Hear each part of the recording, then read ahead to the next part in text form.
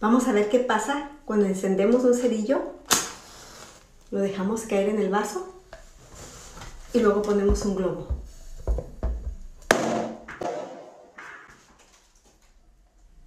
Se supone que entraría. Me asusté. Segundo intento, vamos a ver qué pasa.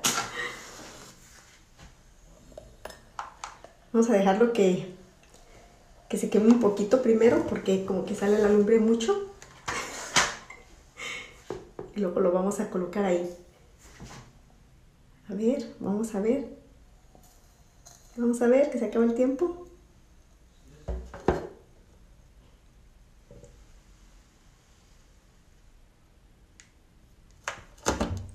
Ahí está. Aquí sí funcionó.